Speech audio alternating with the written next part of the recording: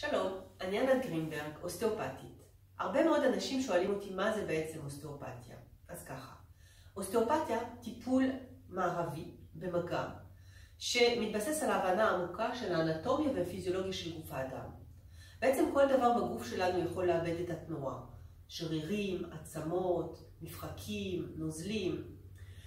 האוסטאופת במגע מחפש איפה חסר תנועה ולשם מחזיר. ובכך הוא משפר את תפקוד הגוף, מעלים מחלות וכאבים.